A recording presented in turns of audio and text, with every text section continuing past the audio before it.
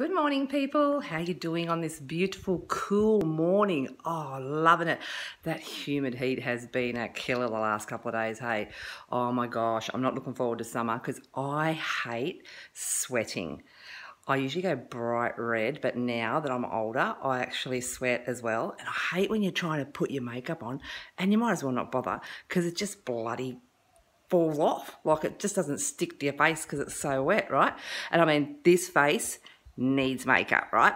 Anyways, besides the point, we actually went out for dinner last night to celebrate a family member's 50th and got talking around the table as you do.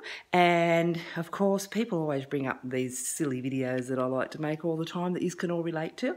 And we were talking about the subject. They actually asked me to make a video on how our kids, when they're hungry, especially when they're teenagers, right?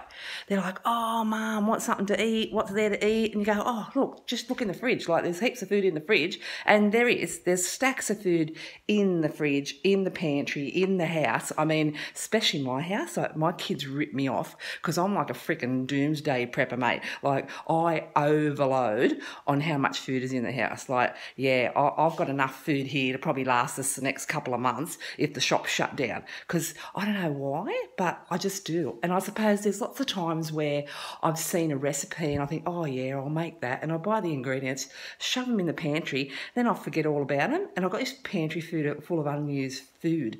And I was only saying to my niece the other day, like, I actually had a clean out of my pantry the other day, and oh, not the other day, but a few months back. And I'm checking the dates, right?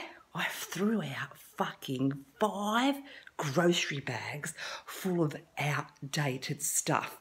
Now, this is the person that used to rip off her poor mother for having one or two packets or cans of outdated food in their pantry. But I mean, my mum is amazing at it. Like, you'd get something out of the pantry and it'd be about 10 years out of date. Like, I kid you not. And guess what? I'm getting as good as her. So sorry, mum.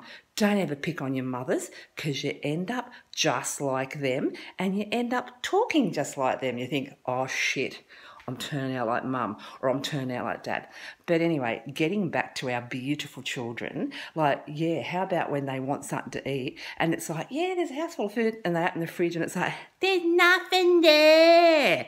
And you think to yourself, listen, you little fuck, just take a bit of effort and prepare something. But no, our children don't want to have to make the effort.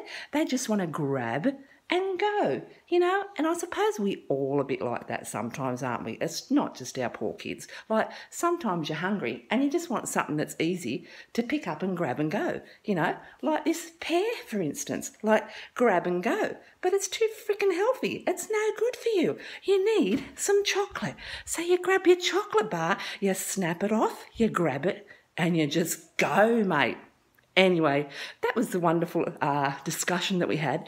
And they want me to make one on two minute noodles. Like, I was saying to them how everyone's always asking me to keep making these videos, and I've got no idea what to make them about. Like, I just, something will come to me, and I'll go, oh, yeah, I'll make one of them stupid videos, you know, just to give everyone a laugh. But yeah, if you've got any ideas on what I should make an idiot video about that we can all relate to, because we're all actually idiots, then let me know. Okay? Anyway, enjoy your day. Love yous heaps. And thank you so much to our friends last night. I always love catching up with you guys and having a good old chin wag. All right, guys. Catch you later. Bye.